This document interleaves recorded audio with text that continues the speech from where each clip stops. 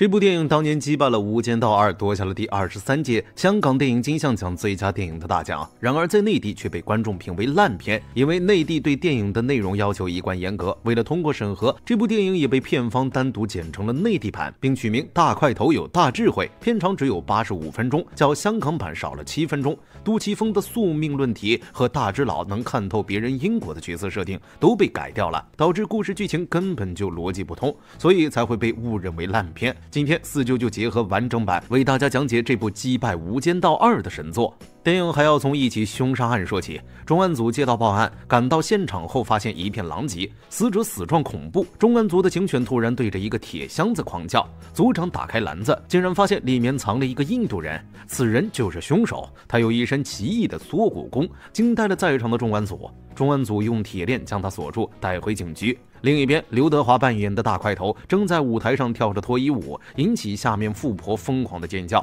尤其是一位美女对大块头尖叫着喊“我爱你”。这不是刘德华的真实肌肉，而是用硅胶皮做的仿真外衣，重达六十磅，光化妆就需要半天的时间。我们继续回到电影。突然，警察过来办案，而刚才的美女李凤仪也是警察。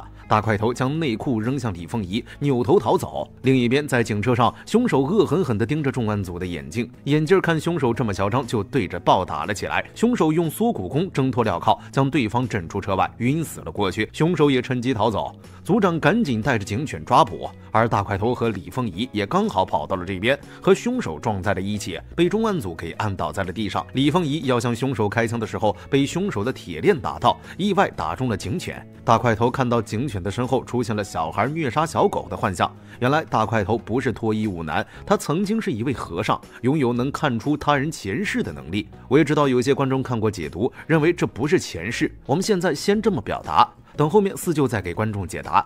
大块头抬头一看，李凤仪的前世竟是屠杀村民的日本军。大块头赶紧扭过头，不敢再看李凤仪。大块头被重案组当成凶手的同伙给抓进了警局，对大块头严刑拷打。生性善良的李凤仪看不过去，挺身而出为大块头作证，让组长放人。李凤仪也因此得罪了组长。大块头知道李凤仪活不了多久，就不想领对方的好意，他现在只想远离李凤仪。李凤仪爆出了大智老之前的资料：三十岁之前，大智老在大陆一间。石窟寺里当和尚，法号了因。李凤仪问他为什么不继续当和尚，大智老回答：吃不饱，没钱。但李凤仪知道大块头不是一个好人后，还是决定不起诉他，要放他回大陆。由于李凤仪得罪了组长，组长以人手不足的理由将李凤仪调到了重案组。大块头看到李凤仪身上的幻觉更加严重了，他知道李凤仪命不久矣。他说的看不见，意思是自己装作没看见，就不用去救他了。大块头回去后依然过着醉生梦死的生活，但他忘不了李凤仪对自己的善举，决定出手帮忙。他告诉李凤仪，自己看到他们警察中会有人死。李凤仪不相信他，用枪指着大块头。之间人命喺你手。李凤仪察觉对方没有恶意，就答应暂时相信他。大块头看到案发现场，推算出了作案的经过。死者见到凶手很害怕，凶手见到死者很愤怒，说明两人认识。两个人也都是武者，是同门师兄弟。过了好几招，凶手武功更强一点，击败了死者。死者求饶，凶手却丝毫不理，将死者给活活打死。打了一路，打到流光了血，死不罢休。他们这么大的仇恨，说明曾经有过很深的感情。然而经历了许多次的出卖和信任，这只。只不过是一世的仇恨，李凤仪还是不信任大块头。大块头为了让他相信，告诉他自己之前是一个很厉害的武僧，还表演了一招一指禅。李凤仪让大块头踩汽车，看看他有没有预知能力。大块头只好说出了实情，自己没有预知能力，但自己能看到果，就能见到因。当他看到一个人死或者快要死的时候，就能从背后的幻觉知道对方的死因，而这个死因是关乎以前发生的事，看似不相干，其实有大关联。虽然李凤仪没有听懂他的话，但知道死人后，还是邀请对方破案。两人来到停尸房后，大块头通过死者的尸体看到了他的前世。死者和凶手前世也是一对师兄弟。死者背叛了凶手，凶手要杀掉他。死者求情，凶手饶他一命。扭身看到河里一只快要淹死的甲虫，准备救他上岸，结果死者不肯放过凶手，将他杀死。甲虫一只脚被掰断，死在了凶手旁边。就是两辈子的仇恨，才会让凶手这么恨对方。不管死者怎么求情。凶手也不会放过他。大只佬告诉李凤仪，根据因果关系，凶手肯定会被一个断手的女人救下，找到这个女人就能找到凶手了。大只佬让李凤仪去医院查一下。另一边，一个女人下班回到家中，在洗手间发现了那个凶手。重案组接到报案，有个清洁工看到了凶手。警长让李凤仪过去，李凤仪将摩托车钥匙给了大只佬，让他跟上。可大只佬骑得一点都不好，东倒西歪。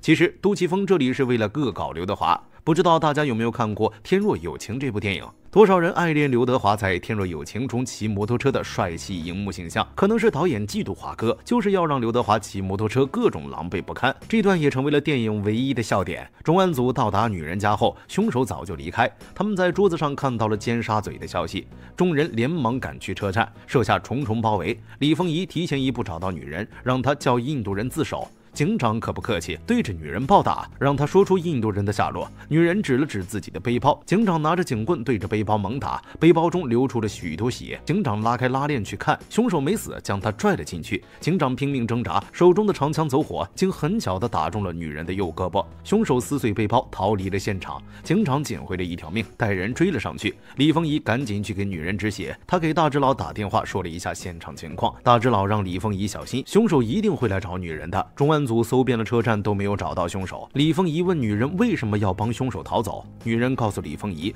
她也不知道为什么，认识他还不到一天，但感觉认识了好久了，就是想要帮他。这时，凶手从李凤仪背后的通风管道出现，要勒死他。危机时刻，大只佬出现救下了李凤仪，和凶手缠斗在一起。大只佬力大无穷，用双腿将凶手固定在墙上。李凤仪激动地抱着大只佬，大只佬让他当做不认识自己。警长看到凶手要开枪打死他，大只佬。将他拦下，警长环顾四周，才冷静了下来。大只佬脸上露出了高僧般的笑容。李凤仪来到监狱，想感谢大只佬。大只佬看到他身后的幻象消失了，感到特别的开心，但他不愿意再理李凤仪。第二天，大只佬又要被遣返大陆。警长走到他的面前问：“如果我再打那个嫌疑犯，会怎么样？一念天堂，一念地狱喽？”李凤仪来到大只佬之前所在的寺庙打探情况，方丈告诉李凤仪，五年前大只佬的好朋友小翠被一个叫孙果的逃犯给打死了。孙果打死人之后逃到了山上去，大只佬找了孙果好几天都没有找到，大只佬很生气，乱棍打树，结果打死了一只小鸟。大只佬就坐在树下看着死去的小鸟七天七夜，然后脱掉袈裟跑走了，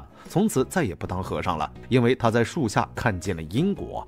所以他应该很痛苦。大只佬来参加散打比赛，但他不是来拿冠军的，是来让别人击倒他的，就是打假赛。倒地前，他看到了李凤仪，李凤仪的身后又出现了日本鬼子杀人的幻象。李凤仪对大只佬表白，大只佬不想理他。在更衣室中，冠军来挑衅大只佬，大只佬想着自己做那么多，还是破解不了因果，他愤怒地打向衣柜，这一拳直接把冠军给吓着了。晚上，李凤仪来抓一个犯人。这个犯人像泥鳅一样丝滑的不得了，根本就抓不住。这个泥鳅怪还会飞檐走壁。李凤仪追他时，不慎从楼上掉了下来。关键时刻，又是大只佬出现救了他。李凤仪身后的幻象消失了，还是老规矩，大只佬抓人，李凤仪当做不认识他。面对这个泥鳅怪，就算大只佬力大无穷，也抓不到他。大只佬抓起身边的大网，将他给绑了起来。但这时，大只佬又看到了李凤仪身后的幻象，这下他明白，李凤仪身上的因果根本斩不断。两人一起散步时，李凤仪勇敢地抓住了大只佬的手，他很感谢自己那么普通，大只佬还对他那么好。大只佬对他说出了实情：“其实你应该死了，我救的不是重案组，而是你。我看到一个日本兵杀了很多人，就知道你会死。我救了你好多次，还是能看到那个日本兵在杀人。”大只佬不想再管他了，他知道自己做什么都没有用。这时，一个捡玻璃瓶的老婆婆从两人面前路过，看到脚下有一个玻璃瓶，虽然不是她丢的，但她也弯腰捡了起来。李凤仪问大只佬：“我前世是个日本兵，杀了很多人，今世我要还，所以我要被人打死。”大只佬说：“不是。”前世今生，那个日本兵不是李凤仪，李凤仪不是那个日本兵，只是那个日本兵杀了人，李凤仪就要死，这是因果法则。李凤仪问大只佬：“这样公道吗？”因果就是这样的，前人种下的因，就会有随机的后人得到果。好多观众是不是也觉得这样不公道？凭什么别人上一世做了恶，让今世的自己来承担？佛教将轮回比喻为火柴，点燃一根火柴，然后用它的火点燃下一根，直到千百万根。而第一根火柴上的火和第二根火柴上的火，虽然都是火，却不是同一个火了。善因得善果，恶因得恶果。这个因果关系不是发生在某一个人身上，而是在芸芸众生身上。你种下了恶因，他日别人得到了恶果。电影里不是李凤仪的前世是日本兵，只是这一世注定被杀。捡垃圾的老婆婆就很好的表示了这一切。玻璃瓶不是她丢的，她却要捡起来，因为对别人来说是垃圾，对她来说是财富。一件事情上对别人来说是因，对另外一些人就是果。有些人就会觉得，反正他人的因会发生在自己身上，那不然就摆烂，自己也要作恶。然而佛家提出因果关系是劝人向善的，如果人人向善，没有人作恶，那么就不会有恶的果随机到其他人的身上。就如同大家都不再往地上扔空瓶，那么捡垃圾的老婆婆就会越来越少。这就是电影想要表达的主题。大智老正是想明白了这一点，他如果向孙果报仇，就会有恶的因果传递到他人身上。大智老也觉得不公道，所以再也不当和尚了，遁入红尘，醉生梦死。师傅下山找到了大智佬，告诉他李凤仪来过石窟寺，问了许多关于大智佬的事情。嗰個女仔惡業太重。从这句话中表明了师傅也能看到因果。当年他也做了许多救人的事，但最后还是没有改变。大智佬也已经救了他两次。师傅想劝大智佬放弃，大智佬告诉师傅：“不是我救了他两次，是那个女孩自己救了他两次。我看到了她的善良。”师傅也明白了大智佬的意思，让大智佬再给女孩一点时间。大智老送走师傅后，要去参加健美比赛，却在半路碰到了李凤仪。李凤仪现在成了一个小太妹，还和一群混混待在一起。大智老认为是自己说出事情后，李凤仪明知自己被杀，开始摆烂了，变坏了。大智老看着这样的李凤仪，忧心忡忡，比赛也不专心。就在要输掉比赛的时候，李凤仪跑到他的面前，拿出自己的证照。原来他没有辞职，而是混到小混混中来抓毒贩的。大智老立马开心了起来，摆出高难度姿势，成功夺冠。李凤仪的悟性并不比大智老差，明白了身后的日本兵。咁呢啲係咪即係話萬般帶不走，唯有業隨身？这句话表达的是佛教中的因果报应观念，意味着人在生命结束后，无论是物质财富还是社会地位，都不能随身一同带走。唯一能够伴随个人的是他们在生前所做的善行和恶行。这些行为会形成一种为业的力量，影响着个人的未来命运和境遇。在佛教中，业是推动生命延续的动力，它包含了善业和恶恶业，分别带来好的果报和坏的果报。那晚，李丰仪在车里哭了很久。过几天后，她终于想通了，反正都要死，不如死的有价值。大智老还是不知道怎么面对他。李丰仪让大智老借自己一分钟，他牵着大智老的手，慢慢行走在路边。一分钟后，李丰仪决然松手，低头离开。一段时间后，大智老收到师傅的来信，急忙赶回了寺庙。原来，李丰仪为了让自己死的有价值，也为了帮大智老了却因果，就跑到深山中去找孙果了。现在，警察找了一个星期，还没有找到尸体。警方将李凤仪的相机交给了大智老，里面是李凤仪在深山的行程记录。他明白自己的死是无可避免的，所以他要帮大智老抓到孙果，将这份礼物送给他。李凤仪一直用摄像机记录着这几天的生活。在一个石窟里，他找到了孙果待过的一个窝，墙上写了许多让人害怕的字。这里待太久会使人精神错乱，好像一个地狱一样。李凤仪忽然间有一个很奇怪的感觉，觉得孙果他很可怜。摄像机上，李凤仪在第六天的时候遇难，被孙果杀害。大智老来到深山处，在一个草坪看到了日本人的幻象。他挖开看到了李凤仪的尸体，但这个尸体没有头。大智老抬头在树上看到了日本人的幻象。这段真的是童年阴影了。大智老在树上看到了李凤仪的人头，他愤怒的大叫：“让孙果出来，我要杀死你！”突然有一道人影出现，大智老赶紧追了过去。然而，却出现了和大智老长相一模一样的乞丐。这个乞丐不是孙果，而是大智老的心魔。大家仔细看，阴森的山洞变成了佛像，这很明显是大智老的心理博弈。这个心魔是恶的一方，他认为看到了小鸟前世做过的坏事，所以才要打死；看到了小翠以前做的坏事，所以他就应该被孙果杀害。孙果打死了小翠，那么大智老就应该打死他。所以心魔在山里找了他五年。最后打死了孙果，替天行道，让心魔感觉很痛快。他上辈子干了那么多坏事，这样也算是做好事。心魔继续说：“李凤仪还是日本兵时杀了很多人，所以我也打死了他。”心魔说这些话就是想让大智老杀了他，遁入魔道。大智老怒了，和心魔打在一起，两人从洞外打到了洞内。大智老更胜一筹，就在他要一棍敲死心魔的时候，他悟了。心魔盘坐在地上，对大智老说：“你是我心中的佛，心怀恶念的你有那么的可怕。今日的僧果杀了李凤仪，明日的你杀了僧果，就会万劫不复，冤冤相报何时了？如是因，如是果，昨日因，今日果，任何力量都改变不了。也就是一念天堂，一念地狱。因果是改变不了，但你不能想着改变不了就去自甘堕落，继续做坏事。如果在幻想中大智老杀了心魔，在现实中他就会杀了僧果，替李凤一报仇，下一辈子可能就会遭受到因果关系。他最终明白了，果改不了，那就重视当下的因。佛也没有掌控因果，佛只看重一件事，那就是当下种的因。所以佛只能够劝导世人进步和向善。如果世界种下的全是善因，就不会再有恶果。这就是佛家所追求的乌托邦世界。大智老悟到这个道理后，脱下衣服，重新穿上僧衣，就此在山上一直寻找僧果。孙果遇见他之后，他张嘴问道：“现在是几年？”大智老告诉他：“二零零八年。”孙果在深山中待了十年，他已经不会说话了。大智老抱着孙果说：“我们回去吧。”大智老将孙果带了回来，交给了警察。警察给了他一身僧衣。这时的大智老真是仙风道骨，向警察要了一支烟就离开了。这个背景真是太有意境了。其实李凤仪死前在山上许下了一个愿望，希望以后不会再有人杀人。